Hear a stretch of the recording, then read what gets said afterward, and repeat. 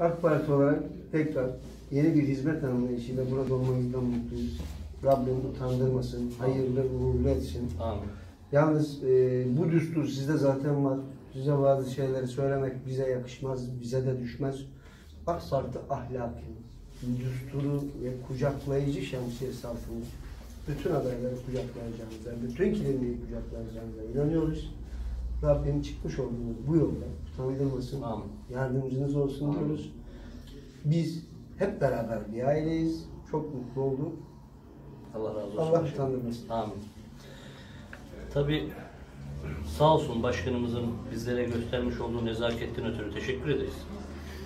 Biz eee, bu partide görev yaptık. Ben bu şehirde doğdum.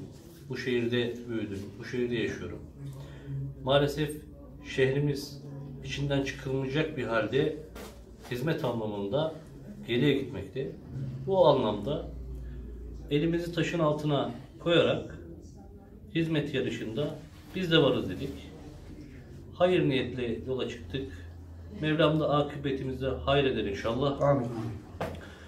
Başvuracak bütün aday adayı arkadaşlarımıza başarılar diliyorum.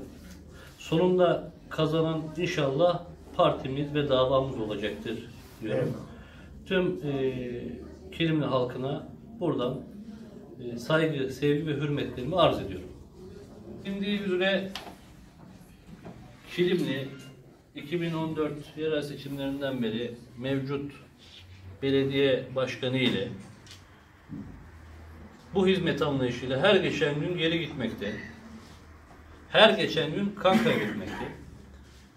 Ben bu şehirde doğdum, bu şehirde büyüdüm, bu şehirden ekmek paramı kazanıyorum ve evladım da bu şehirde yaşayacak. Mezarlarımız bu şehirde. Dolayısıyla kaybettiğimiz her geçen gün şehrin geleceğinden, evlatlarımızın geleceğinden kısmak oluyor.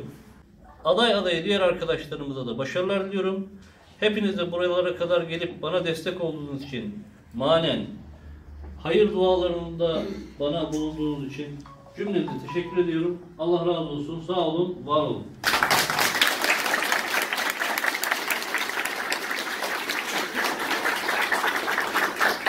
Ben müsaadenizle başvuru yapmak üzere ilçe başkanının odasına geçiyorum.